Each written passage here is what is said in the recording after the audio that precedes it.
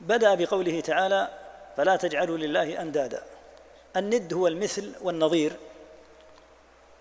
وهو على ما ذكرنا من التفصيل السابق. ابن عباس رضي الله عنهما قال في قوله فلا تجعلوا لله أندادا وأنتم تعلمون لا تشركوا بالله شيئا من الأنداد التي لا تنفع ولا تضر وأنتم تعلمون أنه لا رب لكم يرزقكم غيره. وقد علمتم أن الذي يدعوكم الرسول إليه من توحيده هو الحق الذي لا شك فيه. وقال قتاده قتادة بنحو قول ابن عباس رضي الله عنهما. هذا النوع من اتخاذ الند هو الشرك الأكبر كما هو واضح. وذلك أنهم كانوا يتخذون أندادا لا تنفع ولا تضر. في قول ابن عباس رضي الله عنهما وأنتم تعلمون أنه لا رب لكم يرزقكم غيره. دلالة على المستقر المعلوم المعروف أن المشركين كانوا يقرون أن الله تعالى هو ربهم. ولهذا فسر قوله وأنتم تعلمون أي تعلمون أنه لا رب لكم يرزقكم غيره. وهذا ظاهر كثير في كتاب الله في مثل قوله تعالى ولئن سألتهم من خلقهم ليقولن الله. والآيات الأخرى التي صدرت بقوله ولئن سألتهم. وهكذا آيات سورة المؤمنون وآية سورة يونس والعنكبوت وعدد من الآيات التي فيها إقرارهم أن الله تعالى هو ربهم. إذا ما معنى اتخاذهم الند؟ معناه أنهم يجعلون العبادة لغير الله يتقربون بها في زعمهم إلى هذه المعبودات التي لها عند الله جاه حسب ما يرون.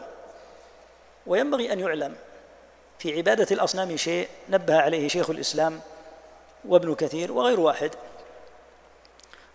أن الكفار حين يعبدون الأصنام إنما يضعون هذه الأصنام على هيئة من يعظمون.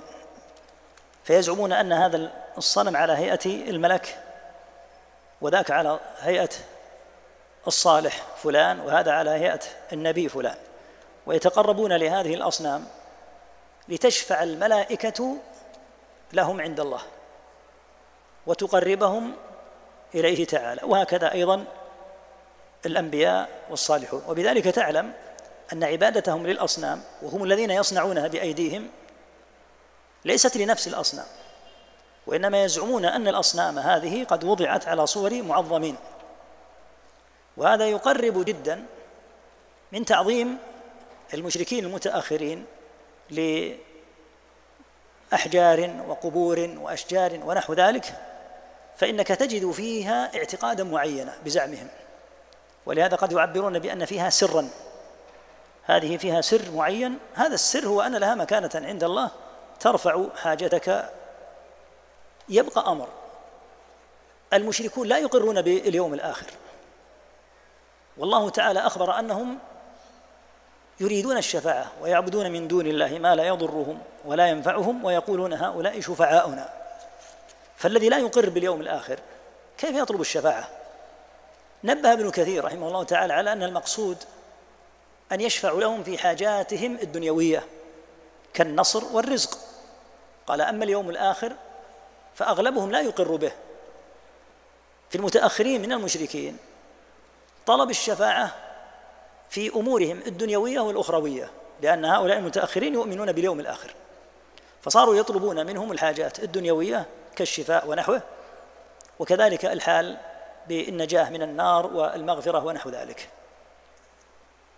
فقوله عز وجل فلا تجعلوا لله أندادا هو بيان لهذا كله ولهذا ابن كثير رحمه الله تعالى وضح بتوسع في قوله عز وجل وما يؤمن أكثرهم بالله إلا وهم مشركون وضح معنى هذا الشرك وأن منه شركا أصغر هو اتخاذ الند على مثل المذكور هنا في هذه الأبواب كالحلف بغير الله والتسويه في المشيئة وهناك ند وهناك شرك أكبر هو الذي كان عليه المشركون.